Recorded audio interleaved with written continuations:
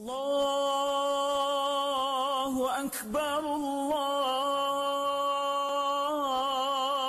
أكبر الله أكبر لا Assalamualaikum warahmatullahi wabarakatuh. Bismillahirrahmanirrahim. Bagi umat Islam dimanapun berada, setiap tahun di bulan Zulhijjah diwajibkan berkorban sekali dalam seumur hidup. Satu orang, satu kambing, atau satu sapi untuk tujuh orang. Demikian pula satu onta untuk tujuh orang bagi yang mampu. Kalau tidak mampu tidak berkewajiban. Ini merupakan kepedulian kita.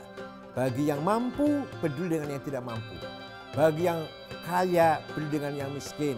Bagi yang berkecukupan, peduli dengan yang kekurangan. Beberapa himbauan dalam ajaran Islam agar kita peduli dengan fakir miskin. Wadaf'u darari ma'sumin musliman kana au muslim bil it'am wal iksa'i wal iskan wa thamanid wa ujur tamrid. Wajib bagi orang Islam peduli dengan sesama, peduli dengan orang yang tidak mampu, baik dari sisi sandang, pangan, dan papan. Muslim atau non-muslim. Maka ajaran Islam sangat-sangat menekankan kesalehan sosial. Bukan hanya kesalahan individual, tapi juga kesalahan sosial. Banyak kita temukan.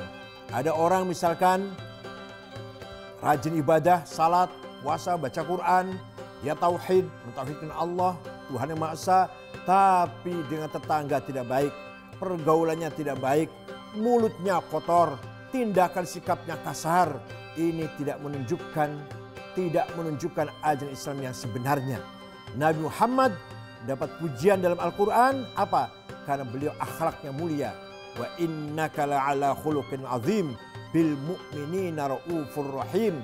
Nabi Muhammad dipuji, sungguh engkau Muhammad orang berakhlak mulia dan engkau sangat santun, sangat ramah dengan sesama umat Islam, dengan sesama orang mukmin. Oleh karena itu, pengorbanan kita umat Islam arti yang sebenarnya adalah secara simbolis berkorban dengan hewan, tapi yang sebenarnya adalah mari kita membangun gotong royong, kebersamaan, ta'awun saling tolong menolong, tadamun senasib sepenanggungan, dan takaful saling bertanggung jawab demi kelangsungan hidup bersama umat Islam terutama di negara Indonesia ini. Syukran wa dumtum fil khair barakatuh wan najah. والله مرغم الطريق والسلام عليكم ورحمة الله وبركاته.